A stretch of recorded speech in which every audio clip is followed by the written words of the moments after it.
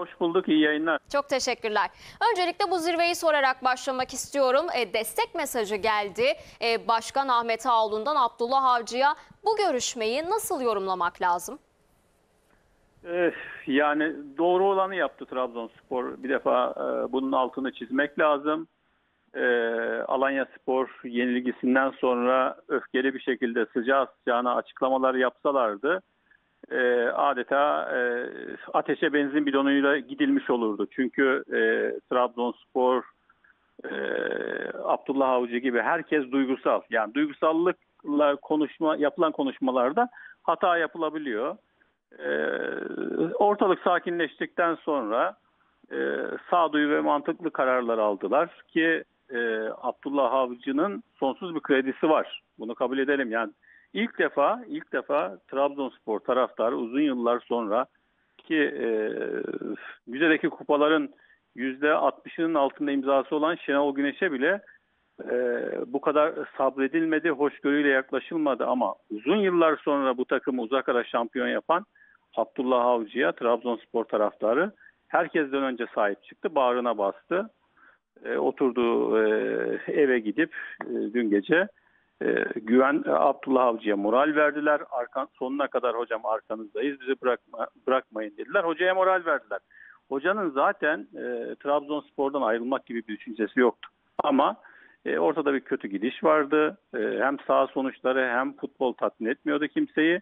Hoca da e, yönetimi, e, camiayı zor durumda bırakmak e, istemediği için bir istifa sinyali verdi. Ama e, yönetim de şunu yaptı. Büyük kulüpler bunu yapar. E, bu takımı e, şampiyon yaptı, e, rekorları kırdı. Bir buçuk yılda üç kupa kazandırdı Trabzonspor'a. İşte 87 maçta sadece 10 yenilgisi var. Geçen yıl 3 yenilgiyle şampiyon oldu bu takım. Bütün rekorları kırdı. E, hocalarına sahip çıktılar. Ve e, ben şunu söylüyorum. Bu alınan karar aslında e, Trabzonspor'da ikinci e, Abdullah Avcı döneminin başlangıcı olacak. Yani Abdullah Avcı Trabzonspor'a hayırlı olsun. Bugün Abdullah Avcı Trabzonspor'da e, göreve başlıyor. Öyle söyleyeyim. Bu çok önemli. Böyle kararlarda e, hocayı e, tamamen e, hocayı güçlü e, olmasını ve e, moralli bir şekilde Başakşehir maçına e, hazırlanmasını sağlamış oldular. E, bu morale hocanın ihtiyacı vardı. Hoca çok yıpranmıştı. E, takım da elbette ki yıprandı ama sonuçta e, Abdullah Avcı şunu yapacak. İlk geldiği dönemde bu takım 17. sıradaydı dip yapmıştı. E, savunmayla işe başladı ve o sezon takımı dördüncü yaptı. Aynı taktikle yola çıkacak şimdi. Trabzonspor şampiyon takım gibi oynamayı bir kenara bırakacak. Çünkü o şampiyon takım yok şu anda. Ee, iyi savunma yaparak bundan sonraki maçlara çıkıp e, kontratakla e, yakaladığı pozisyonları gole çevirecek. Artık yani böyle çok gol yiyen bir Trabzonspor izlemeyeceğiz.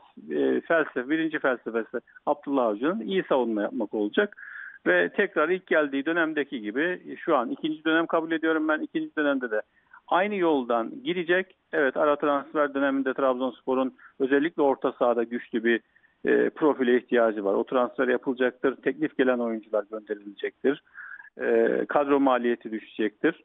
Ama e, ben bu önümüzdeki 5 maçlık periyot e, Galatasaray maçına Galatasaray maçı da dahil 5 maçlık periyotta ki 3'ünü içeride oynayacak Trabzonspor e, bir seri yakalayacaktır Galatasaray maçına kadar. Öyle düşünüyorum. Çünkü takımın bir şoka ihtiyacı vardı. Şu anda Abdullah Avcı'nın e, işte istifa sinyali bir şok etkisi yarattı. Ben birkaç oyuncunun da kadro dışı bırakılacağını düşünüyorum. Bu kadro dışı da her zaman e, olumlu yansır e, takıma her ne kadar yönetim takımı hocamıza ve takımımıza güveniyoruz dese de bugünkü müzakerelerde takımda o ruhunu kaybeden e, oyuncular olduğunu mutlaka e, Abdullah Avcı e, dile getirmiştir. Birkaç oyuncu gerçekten yani daha önce izlememiş olsak bu oyuncu Trabzonspor'un oyuncusu değil deriz. Sahada yürüyen, savaşmayan birkaç oyuncu var. Onlar e, dikkati çekilecektir. Gerekirse kadro dışı bırakılacaktır. Ama ben dediğim gibi bugünden sonra Abdullah Avcı bu moralle tekrar motivasyonunu motivasyonlu bir şekilde Başakşehir maçına hazırlanacaktır ve e, ilk geldiği günkü taktikle yola çıkıp e, ki o dönemde iyi bir savunma yapmayı öğretmişti takıma. Şimdi tekrar aynı şeyi yapıp e, iyi futboldan ziyade galibiyetler alacaktır. Sonuçlar alarak tekrar yukarıya doğru tırmanacaktır. Yani e, puan farkı evet makas açılmış gibi görünüyor ama e, sonuçta kaybedilmiş hiçbir şey yok. Daha ligin ilk yarısı bile bitmedi. E, Trabzonspor'un iyi oyunundan, e, pas oyunundan, işte rekor pastan, e, topa sahip olma oranlarından ziyade e, sağ sonuçlarına ihtiyacı var. E, mutlaka bunlar da konuşulmuştur. Bundan sonra Trabzonspor iyi oyunu bir kenara bırakıp e, sonucu elde edecek e, taktik anlayışıyla sahada yer alacaktır. Ben öyle düşünüyorum.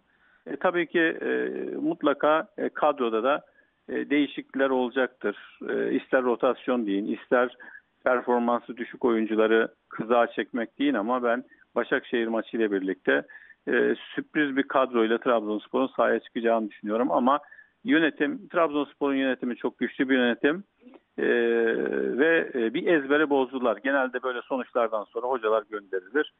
E, istikrar çok önemli. Abdullah Avcı Türkiye'nin bana göre e, şu anda en iyi hocası. Evet formsuz bir dönem geçiriyor olabilir ama e, bugünkü toplantıdan sonra e, hocaya e, verilen moral ve motivasyonla birlikte o hoca da formsuz dönemini atlatıp tekrar takımla birlikte çıkışa e, geçecektir ve takım ayağa kaldıracaktır. Çünkü Trabzonspor bu takım e, Monaco'yu çok farklı yendi. Fenerbahçe maçını muhteşem oynadı. Demek ki e, motiv olduğu maçları çok iyi oynuyor. Burada tabii takımın da morale ihtiyacı var. Hocaya o moral verildi. Takımla da yönetim mutlaka bir görüşme yapacaktır. E, onlara da o morali verecektir. Ama ben e, birkaç oyuncunun da kadro dışı bırakılacağını düşünüyorum. Zeki Uzundurukan hazır harcama limitleri de açıklanmışken transferi de biraz detaylandıralım istiyorum. Evet. 1 milyar 42 milyonluk evet. bir harcama limiti var Trabzonspor'un %40'lık sapmayla birlikte. Evet. Acaba Abdullah Avcı bugünkü zirvede e, başkana, yönetime nasıl bir transfer raporu sunmuş olabilir? Kaç oyuncuya ihtiyacı e, olacaktır acaba? Nasıl bir e, transfer politikası izlemesini bekliyorsunuz ara transfer döneminde Trabzonspor'un? Ya, yani şu anda Trabzonspor'un zaten e, kalabalık bir kadrosu var. Onu şampiyon kadroya 13 transfer yaptılar. Yani e, gön, e, gönderilecek oyunculara bağlı. Teklif olan oyuncular mutlaka gönderilmeli. E, ama orta sahada ivedilikle bir oyuncuya ihtiyaç var. Bir 6 numara, bir 8 numaraya ihtiyaç var. Ee, onun dışında şu anda e, işte Bruno Perez dönecek. E, sağ bekte sıkıntı yok. E, sol bekte Eren Elmalı çok yoruluyor. Ama e, bir santrforda alınabilir. E, Umut Bozok o katkıyı veremiyor. İşte Maxi Gomez olmayınca takım e, sıkıntı yaşayabiliyor. Yine bir kenar oyuncusu da transfer edilebilir ama e, burada bütçeye bakmak lazım. E, Sayın Ahmet Ağoğlu e, kadro maliyetini düşürmemiz gerekiyor dedi. Bu harcama limitleri tamam e, de nereye kadar bunu hepsini harca, harcayamazsın zaten.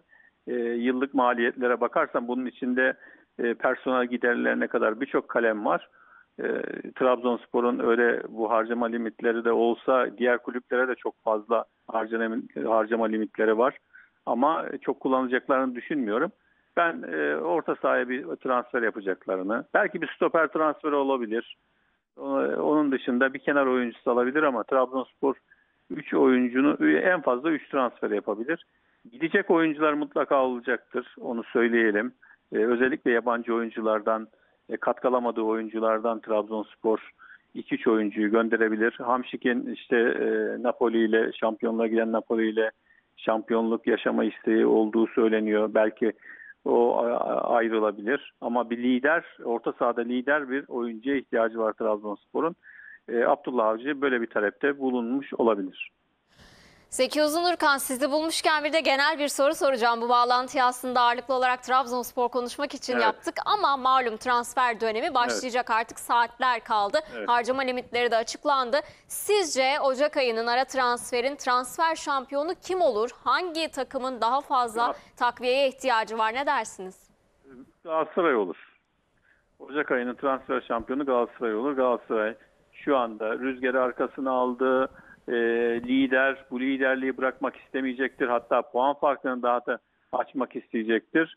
Ve e, Dursun Başkan'ın en büyük özelliği e, çilekleri çok sever. Yine bir çilek transferi, Icardi gibi bir çilek transferi daha Ocak ayında yaparsa Galatasaray kimse şaşırmasın. Ayrıca Galatasaray e, Yani üç gün önce söyledim ben bunu. Icardi'nin bonservisini de alacak. Yani kiralık değil zaten 2024'te sözleşmesi bitiyor. Paris Saint Germain'le bir %70 oranında anlaşmışlar.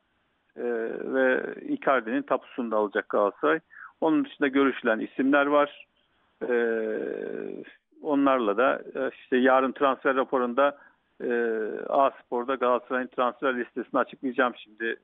E, vermeyelim isimleri ama bomba bir e, dünya yıldızını da Galatasaray renklerine katacak. E, Fenerbahçe zaten Samet Akaydın'ı transfer etti. Onlar da mutlaka e, şampiyon olabilmek için, puan farkını kapatmak için transferler yapacaklar ama e, Galatasaray e, dediğim gibi yine e, biri e, çok e, dünya yıldızı olmak üzere en az 4 transfer yapacaktır. Peki Zeki Uzundurkan yarınki transfer raporu programını dört gözle bekliyoruz. O zaman muhtemelen Evet. bütün Galatasaray taraftarları da bekleyecektir. Evet, Tabii diğer takım taraftarlarını da Tabii ekran da- başına şimdiden var, var. çağıralım. Fenerbahçe, Beşiktaş, Evet. Adana Demirspor, Trabzon bir sürü transfer iddiaları var. Onları e, enine bonuna Aykut İnce'nin programında masaya yatıracağız. Her zaman olduğu gibi. Zeki Uzundurkan çok çok teşekkürler değerlendirmeleriniz için. İyi akşamlar diliyoruz. İyi yayınlar. Çok teşekkürler.